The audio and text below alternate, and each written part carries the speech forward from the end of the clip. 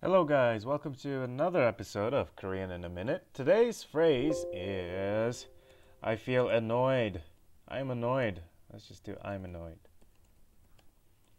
And in Korean, we say 짜, 증, 나. 짜증나. 짜증나. And first character is 짜. Whoops. Let's do that a little bit better.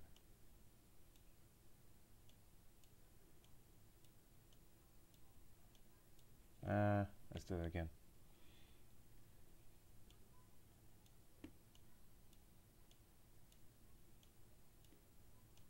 So first character is 자, and then second character is 증, 증, 나.